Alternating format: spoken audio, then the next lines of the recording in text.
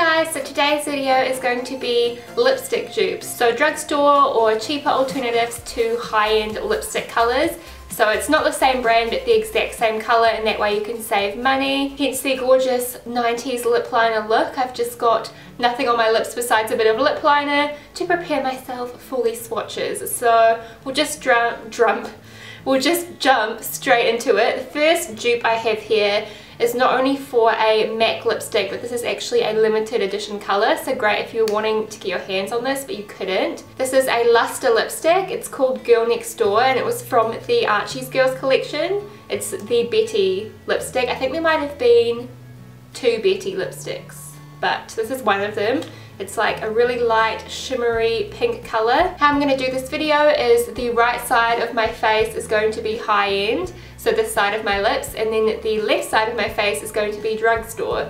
So you can really compare them on the lips and see how similar they are. I just thought to myself I shouldn't have put lip liner on before this colour because it's really sheer. So Girl Next Door is on this side And the dupe I have for this is called Play With Me from Chi Chi. If you watched my Chi Chi lip swatches video, you will have remembered in that video I said this was a dupe for this, but I wanted to show you guys so you can actually see how similar they are. So again, this is called Play With Me.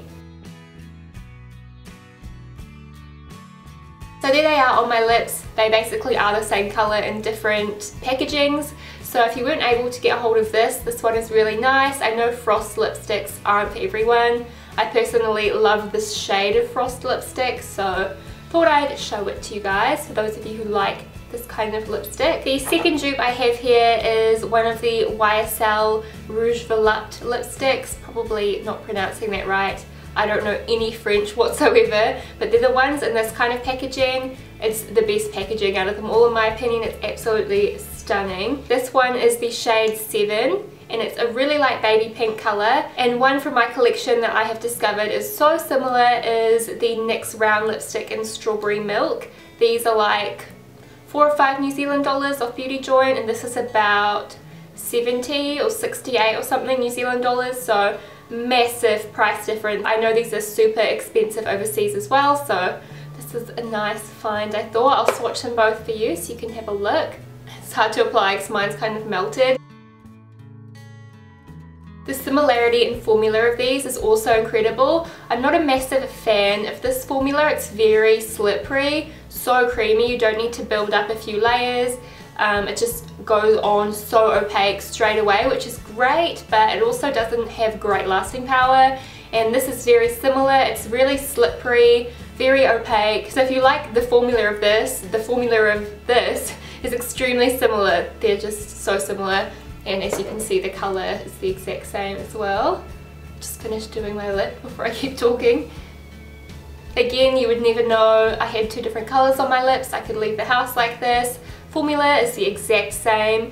I actually kind of prefer this one. Obviously this one completely trumps the next one with packaging. It's stunning, like so decadent, but I actually prefer the formula of this one funnily enough because it doesn't have a really strong, pungent, floral scent. You know how um, expensive products can be. They smell very floral and heavy. This doesn't really have a scent, so it's almost better in a sense. Okay, next dupe I have here is one from MAC. This is Fleshpot. You guys know one of my, or pretty much my favourite nude from MAC. Great for paler skin.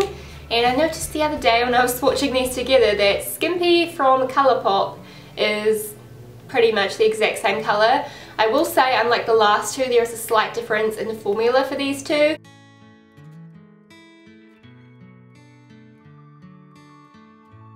So with this one, I don't know if it will pick up too well on camera. This side is definitely more glossy, more sticky just because of the formula of this. It's got quite a pinky undertone, it's a nice light nude and they're the exact same colour. I don't know if this was based off Fleshpot from MAC or something. This one is $5, this one is $40 in New Zealand so my lips look really dry and disgusting. I'm really sorry. I'm actually quite sick at the moment. I've got a very sore throat and I think because I'm fluey my lips are really dry. They're not usually this dry but gonna truck on. So the next one is my Chanel lipstick in Rouge Coco 49 Liaison. I've talked about this in videos before. It's absolutely gorgeous. I love everything about this lipstick. And a really similar one I found in my collection, it's called Game On from Chi Chi, so I will swatch those. On I can definitely tell the Chanel one is a wee bit creamier. They have the same finish in terms of appearance, like this one still looks quite glossy so you really can't tell once it's on. Of course the major difference between them is the price. This is about $20 in New Zealand which is like the price of our drugstore makeup here. This I got in duty free, I think it was about 60 New Zealand so again big old price difference and the exact same. Next dupe I found is for Vegas Volt from MAC, which I was very excited about because you guys know I love this lipstick. But again, it's $40 in New Zealand. It's just a really cool, not neon coral, it's like dark, but it's also a neon. It's really hard to describe. But you've probably seen me wear it if you're subscribed to me. And I discovered my NYX Round lipstick, another NYX Round lipstick. These are great. They have so many shades. There's like 40 shades, I swear. Uh, the shade Hot Melon or Haute Melon, it's like spelled all couture, is very, very similar.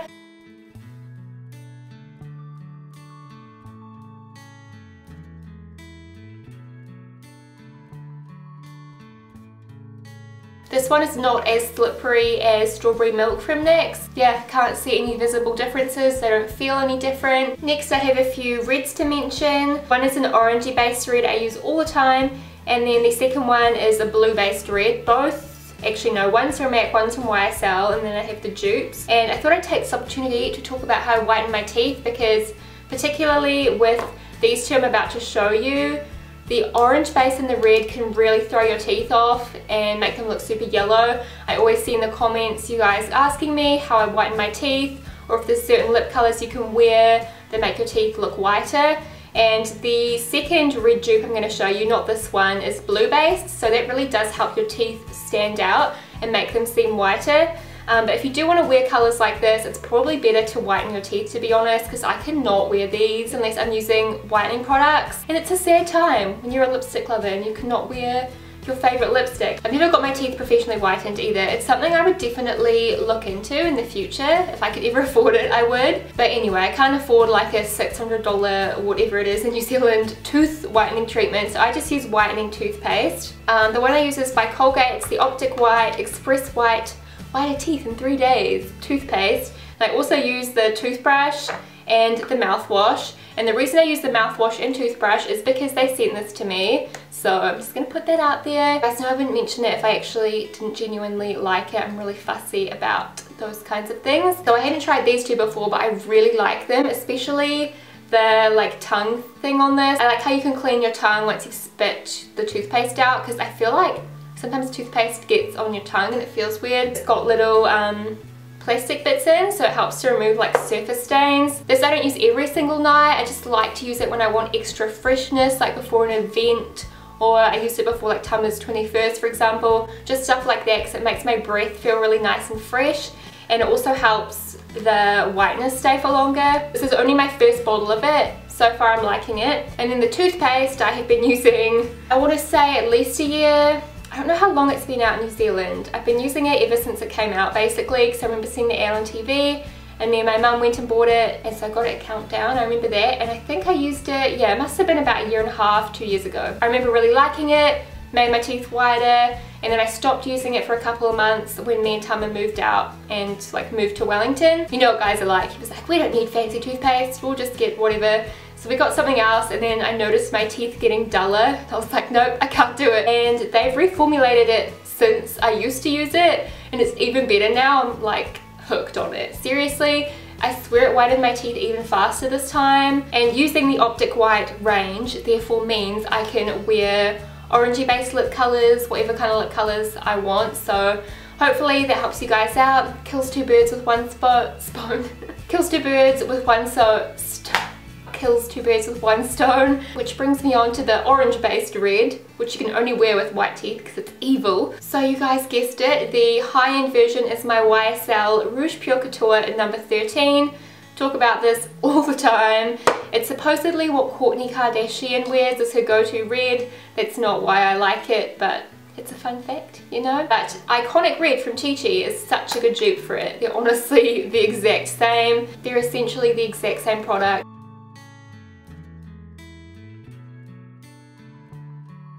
So there we have those two. As you can see, they essentially look the same on my lips. The formula to apply is a little bit different. Um, I think it's just a reoccurring theme on YSL formulas that they are quite slippery and smooth to apply so that you really just go zoop zoop and it's on whereas this you kind of drag a bit more. Once on they look the exact same. The next dupe is more of a blue based red so really good if you want to brighten your smile up like I was saying before. Obviously I highly recommend the Optic White but if you want something absolutely instant like that day then you can use a blue based red. That's not the right lipstick.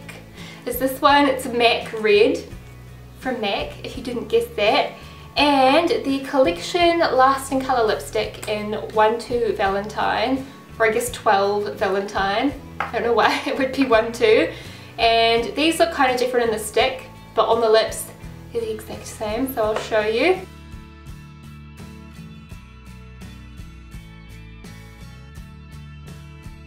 So there is those two on. I feel like I applied that less than ideally. This makes your teeth look so good. It's like Hollywood movie star white.